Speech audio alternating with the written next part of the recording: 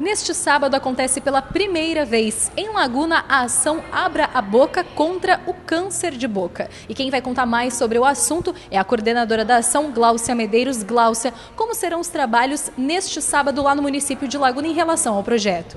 Bom, nesse sábado, os alunos do curso de odontologia, né, juntamente com, comigo, nós vamos estar é, em Laguna, numa parceria com a Fundação Bradesco e a Secretaria de Município de Saúde do município de Laguna, fazendo, participando da ação voluntária né, que vai ter na Fundação Bradesco.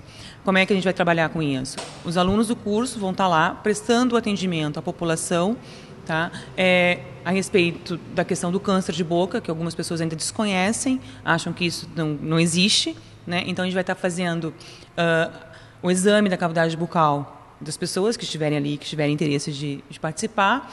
Vai estar também explicando como é que é feito o autoexame, por quê?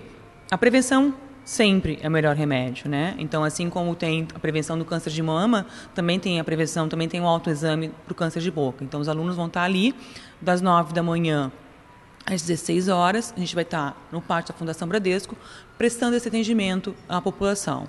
Né? Isso é uma forma de você unir o ensino, a pesquisa e a extensão universitária. O evento vai acontecer durante todo o sábado e ele é aberto ao público, é gratuito? Sim, o evento acontece no sábado, como eu falei, das 9 da manhã às 16 horas. Ele é gratuito para a população. É, a Fundação Bradesco vai estar com outras ações ali. Eu não sei exatamente quais são, mas eu sei que é uma ação global, né, de voluntariado. Então vai ter muita coisa ali. Ah, o nosso público alvo são as pessoas com mais de 40 anos, tá? Uh, que têm o hábito de fumar ou beber. Por quê? Porque esses são os principais fatores encadeantes do câncer.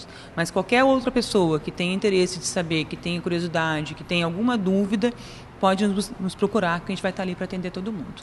Glaucia, muito obrigada pelas informações. Manuela Veiga para o Câmera Aberta, resumo e nós voltamos aos estúdios.